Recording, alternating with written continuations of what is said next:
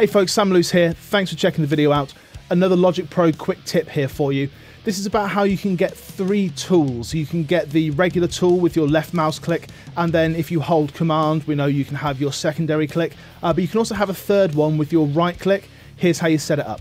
So you can see at the moment I've just got two as is standard. You can go up to preferences, uh, or as I like to do, just press command and comma, and then you bring up your preferences. So if you go into general and editing, this is just the first tab along the top. It will typically come up to project handling, but go to editing, the second one across, and then right mouse button. Typically it opens the shortcut menu. So if you close this and right click, you know that it goes to your options where you can move stuff, split stuff, whatever you want to do. But if you change that to is assignable to a tool, then you'll see up the top you get a third tool appear. If you put it back to shortcuts, it goes back to two, if you put it to assignable to a tool, it goes to three.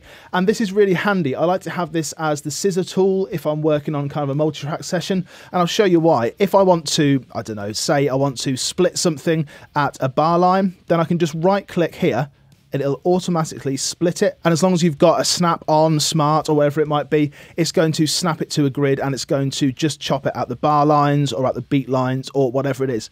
You can change this to whatever you want. So let's change it to eraser, for example. When I right click on something, it's just going to get rid of it. I find that so useful when I'm working on a multi-track session to have it as the scissor tool.